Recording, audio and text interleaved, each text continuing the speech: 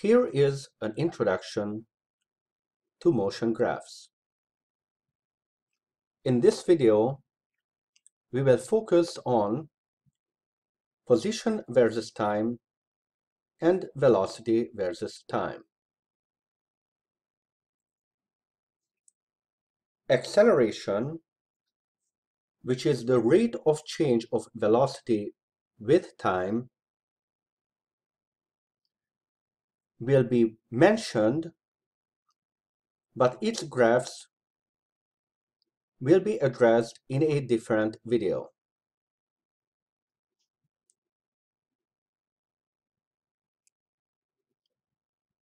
A motion graph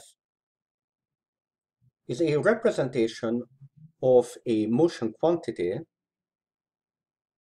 as a function of time.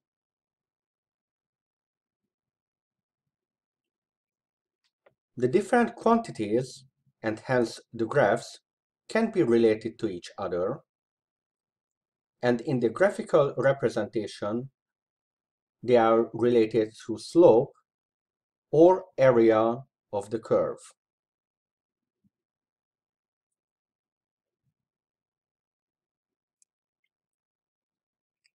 In motion graphs, the time is usually represented on the horizontal axis.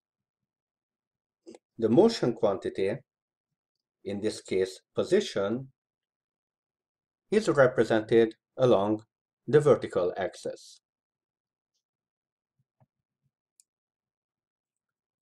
This is an example of a stationary object.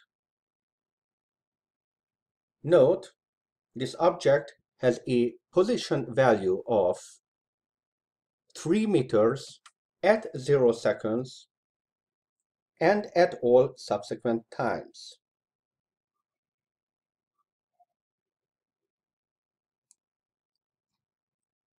Here is an example of an object starting at 2 meters and then 3 seconds later it is at 5 meters.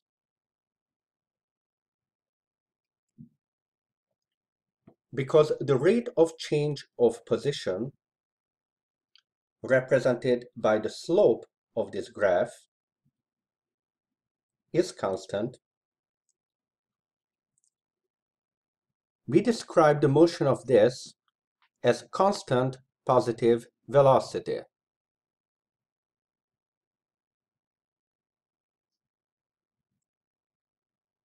Here is an object that starts at positive 1 meter,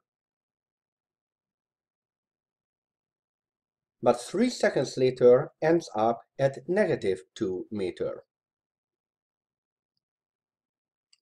This object is moving at constant velocity in the negative direction.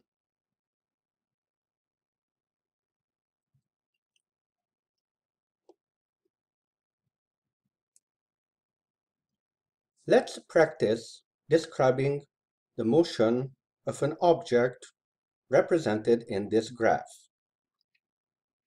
For reference, the table of time versus position has also been provided on the right.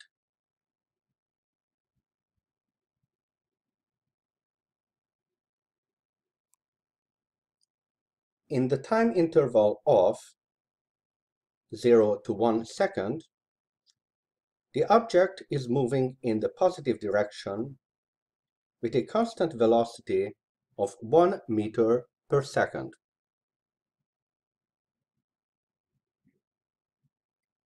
In the time interval of 1 to 2 seconds, the object is stationary at the position of 1 meter.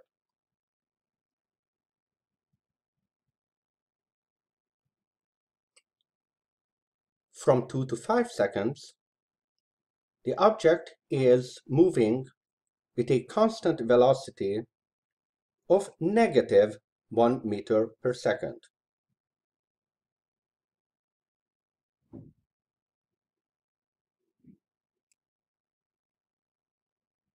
the object remains stationary at negative 2 meters between 5 and 8 seconds.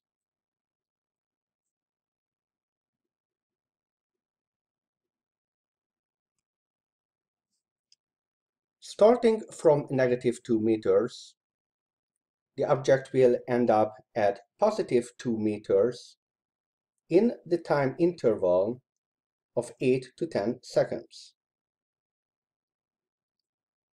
This translates to a velocity in the positive direction of 2 meters per second.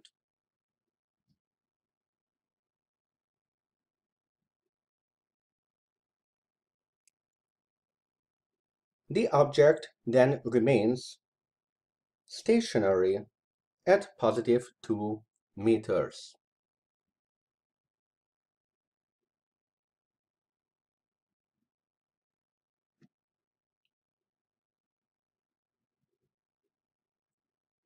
Now let's consider velocity graphs. An object at constant velocity must have the same value velocity through time. An object is only stationary if the value of the velocity is zero.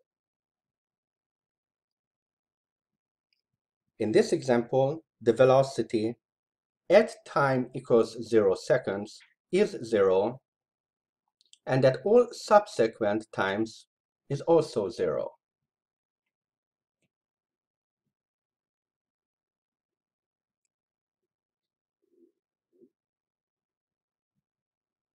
An object with constant velocity that is not zero is moving. In this example, the velocity is constant at 1.5 meters per second, meaning the object is moving in the positive direction.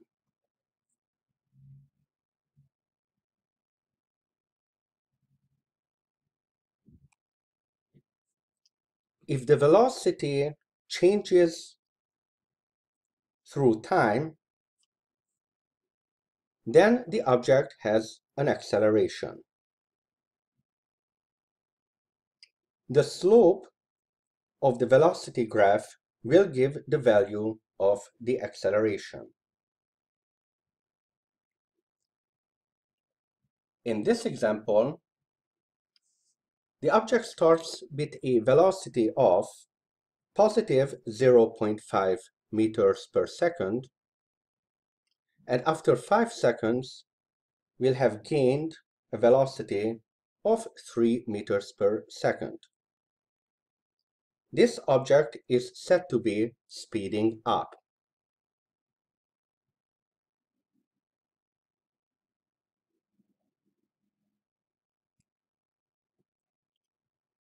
A negative slope velocity graph means a negative acceleration.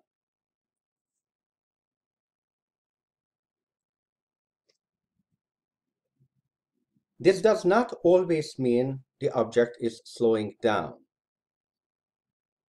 Velocity and acceleration are vectors, and the negative sign just means a direction.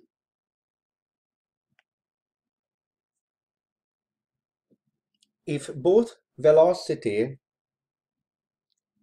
and acceleration are in the same direction, then the object is speeding up.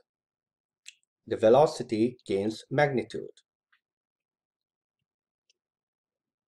If the velocity and the acceleration have opposite signs, then the velocity will lose magnitude, meaning the object is slowing down.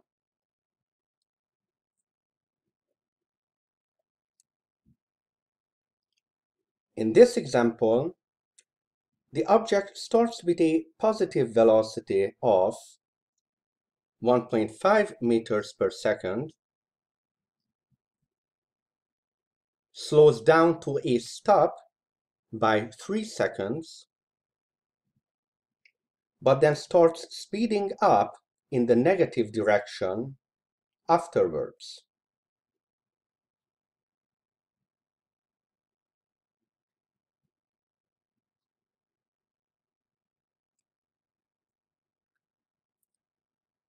One can interpret from the velocity graph what is the displacement of the object. Remember, as long as velocity is positive, the object has a displacement in the positive direction. In the velocity graph, this will be calculated from the area between the velocity curve and the zero axis.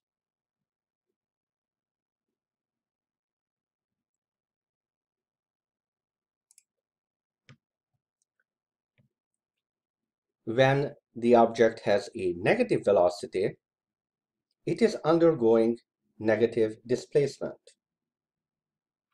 This will be represented by the area between the curve and the zero coordinate.